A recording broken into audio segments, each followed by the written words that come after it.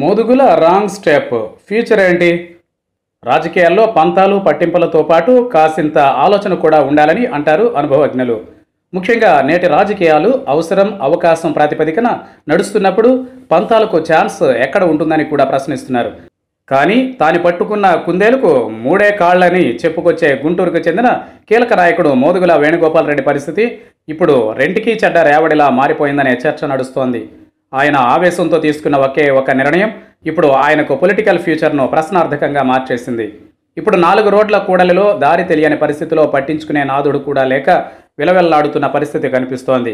విషయంలోకి వెళితే టీడీపీ నుంచి రెండు వేల తొమ్మిదిలో ఎంపీగా పోటీ చేసి గెలిచిన మోదుగుల వేణుగోపాల్ రెడ్డి చంద్రబాబు వద్ద మంచి పేరు తెచ్చుకున్నారు. సమైక్యాంధ్ర ఉద్యమంలో భారీ స్థాయిలో ఉద్యమించారు. చంద్రబాబును అన్ని రూపాల్లోనూ పొగడతలతో ముంచెత్తారు.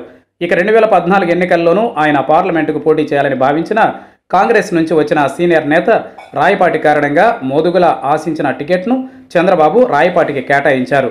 ఈ క్రమంలోనే గుంటూరు వెస్ట్ నుంచి పోటీ చేయాలని సూచించారు. దీంతో కొంత కష్టమే అయినా మోదుగుల మాత్రం వెస్ట్ నుంచి పోటీ చేసి విజయం సాధించారు. రాజకీయాల్లో ఓటమి లేని నేతగా ఉన్న కన్నాను తొలిసారి ఓడించిన నేతగా మోదుగుల వేణుగోపాలరెడ్డి రికార్డులకు ఎక్కారు. అయితే తాను ఎంపీ సీటును త్యాగం చేసి ఎమ్మెల్యే సీటులోకి వచ్చినందున చంద్రబాబు తనకు మంత్రి పదవి ఇస్తానని హామీ ఇచ్చారనే విషయాన్ని మోదుగుల అనూహ్యంగా తెర మీదకు తెచ్చారు. అంటే చంద్రబాబు కేబినెట్లో మోదుగుల టికెట్ ఆశించారు.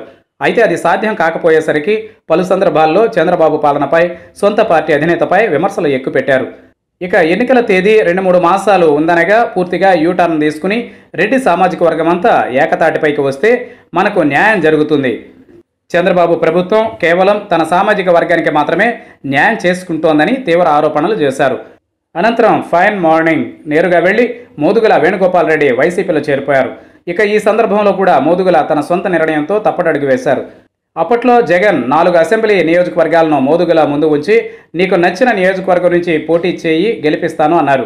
అయితే తనకు మాత్రం గుంటూరు ఎంపీ టికెట్ కావాలని టీడీపీ అభ్యర్థి గల్లా జయదేవ్ను ఓడిస్తేనే తనకు మనశ్శాంతి ఉంటుందని చెప్పి ఏరి కోరి గుంటూరు నుంచి పోటీ చేసి కేవలం నాలుగు వేల ఓట్ల తేడాతో ఓడిపోయారు. అయితే ఈ ఎన్నికలపైన మోదుగుల ఆరోపణలు చేశారు.